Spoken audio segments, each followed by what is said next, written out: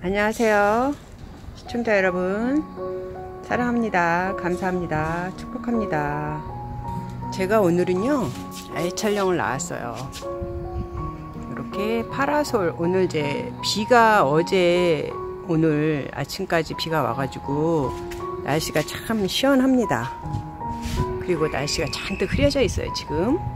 그래서 이렇게 옥상에 올라와서 분갈이를 한번 해보려고 왔습니다. 저쪽에는 이제 비닐 하우스가 있고요. 비닐 하우스에다 아이들을 채워 넣어 놨다가 오늘 바람이 좀 많이 불어서 아이들 바람 좀 쏘여 주려고 여기 바깥에다 이렇게 내놨어요. 그리고 제가 이제 야외 촬영을 나왔는데요. 오늘 여기서 바이솔을 한번 심어 주려고 나왔습니다. 네, 지금부터 바이솔 합식, 모듬 합식을 한번 해보겠습니다. 아주 새소리도 나고 시원하니 좋으네요. 네, 그럼 지금부터 바이솔 심어볼게요. 어떤 바이솔을 심어볼 거냐면요. 지금부터 요거는 연화 바이솔이고요. 네, 흰 장갑이 다 떨어져서 검은 장갑을 꼈네요. 여름에 좀 더워 보여도 양해해 주시고요. 제가 오늘 합식할 바위솔은요. 진짜 요즘에 매력을 느끼는 연화 바위솔 네 포트 준비했고요. 그리고 여기 포천 바위솔 두 포트 준비했습니다.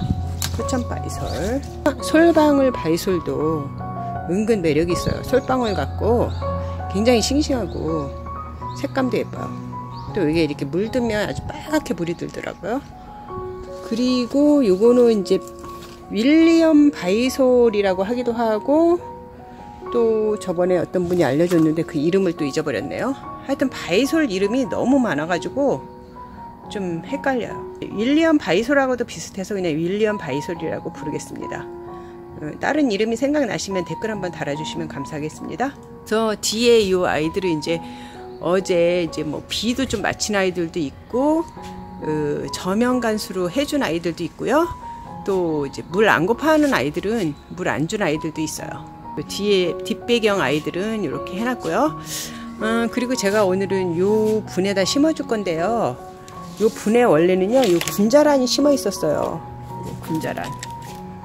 군자란이 심어 있었는데, 이 넓은, 음, 화분에는 이 군자란이 안 어울리더라고요. 그래서 요 군자란을 지금 여기다가 옮겨 심어주고, 여기다가는 이제 이렇게 넓은 데에다가는 이렇게 바이솔 같은 거 이런 거 심으면 좋을 것 같아 갖고 제가 지금 미리 군자란 심었던 흙에다가 난석으로요. 지금 미리 이제 조금 어, 배수충을 깔아놨고요. 흙을 덮어가지고 저거를 음, 합식을 한번 해보겠습니다. 네 제가 이제 요 연화바이솔 모듬 합식을 하기 위해서 요 화분 넓은 화분 준비했고요. 흙 배양토 준비했습니다. 여기다가는 뭐 계란 껍질도 넣고요.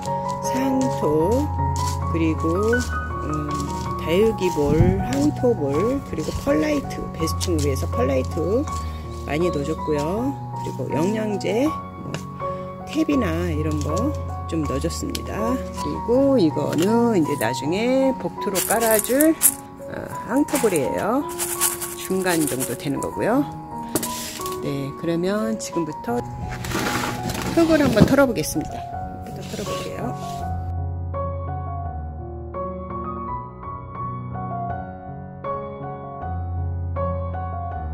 이렇게 밑에만 살짝 털어냅니다. 밑에만. 바이솔들이라 이게 흩어지거든요. 밑에만 살짝 털어내고요. 이거는 솔방울 바이솔이에요. 이렇게 또 야외에서 분갈이를 하다 보니까 너무 좋은 것 같네요. 시원하고 네, 흙을 다 털어줍니다. 연어바이솔도 털어주고요. 이거 흙 털어주는 거는요. 빠름빠름 영상으로 하겠습니다.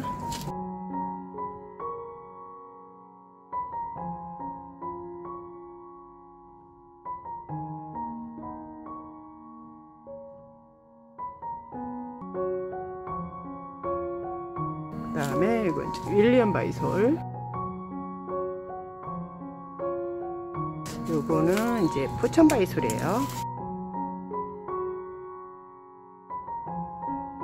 바이솔은 전체적으로 월동에, 월동 노지가 가능하고요.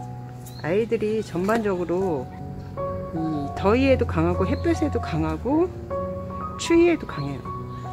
그래서 키우기가 좋고 이런 옥상 같은 데서는 이 바이솔이 참 키우기가 좋은 것 같아요.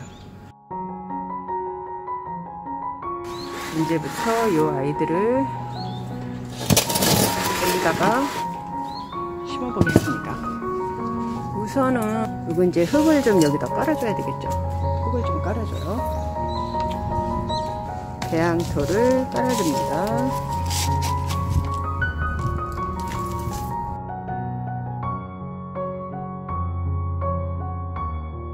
옥상에서 분갈이를 하니까 한결 편한 것 같아요. 이렇게 편한 옥상이 있었는데 왜 매일 집에서 쭈그려 앉아서 했는지 이해가 안 가네요.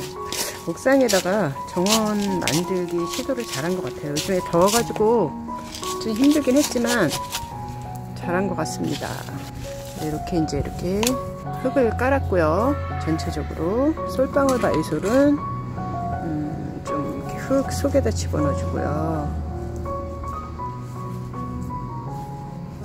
흙 속에다 이렇게 집어넣어 줘야 될 것 같습니다. 그리고 포천 바이솔은 여기다가 이렇게 심어주고요. 네, 여기다가 이렇게 일단 심어줘 봅니다. 그 다음에 이제 연화바이술은 이렇게 여기다가 한번 구성을 해 보겠습니다 연화바이술은 이렇게 뒤쪽으로 이렇게 사방으로 얘네 둘 이렇게 있고 연화바이술 이렇게 사방으로 심고 아 윌리엄 바이솔 들어갈 자리가 없네요 일단 요 아이들 심어주고요. 설방울 바이슬부터 먼저 심어주고요. 그 다음에 연화바이솔 좀 먼저 심어주겠습니다. 이게 애들이 좀 많아가지고 먼저 심어주는 게 나을 것 같아요. 이렇게요. 이것도 흙을 좀 다 털어주고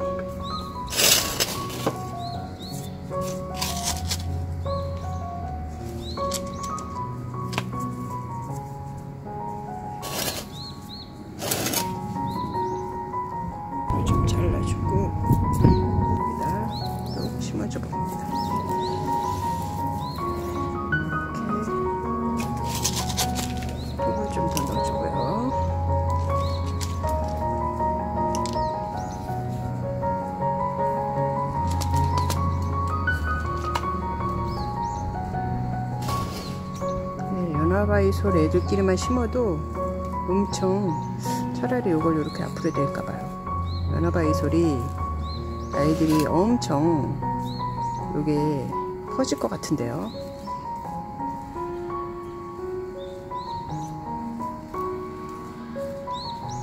연화바이솔 여기다 심어줘 보고.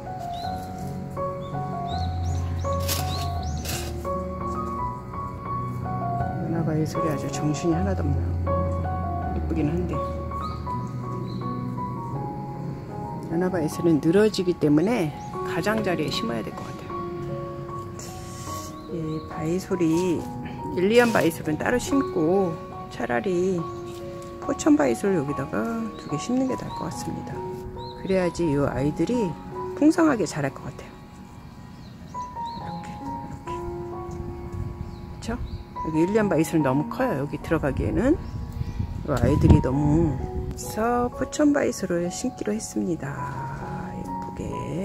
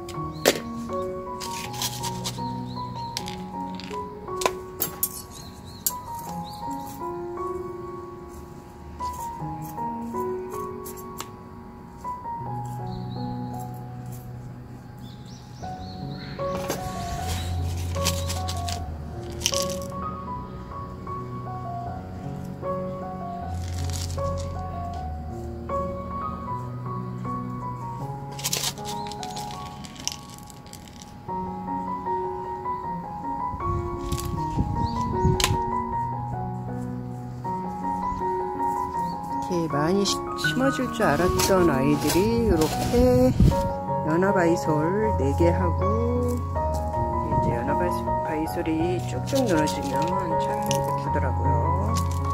아직 자리를 안 잡아서 그러는데 자리 잡고 하면 참 예뻐질 겁니다.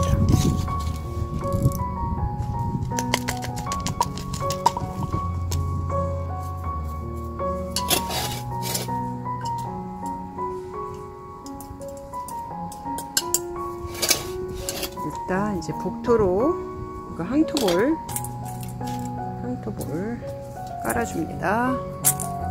항토볼 넣어줄게요.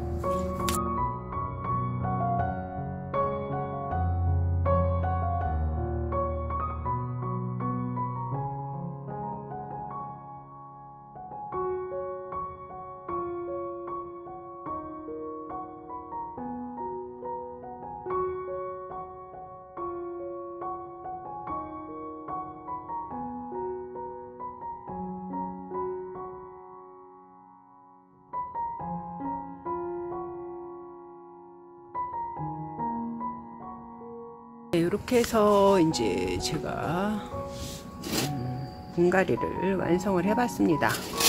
네, 좀 이따 좀 정리, 정리해서 더 예쁜 모습을 보여드리겠습니다. 네, 이렇게 해서 이제 바이솔을 합식을 한번 해봤습니다. 연화 바이솔 가장자리에다가 이렇게 쭉 둘러서 심었고요. 그리고 포천바이솔 포천바이솔 아주 형광색으로 아주 예쁘네요.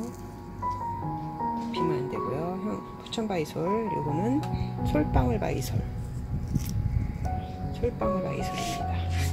네, 이렇게 해서 제가 또 바이솔을 이렇게 넓은 화분에다 이렇게 심어봤습니다. 야외 촬영을 하니까 너무 편하고 좋으네요. 옥상에서 햇볕에 달달 구워가지고 또 번식을 시켜서 또 번식을 잘 해보겠습니다.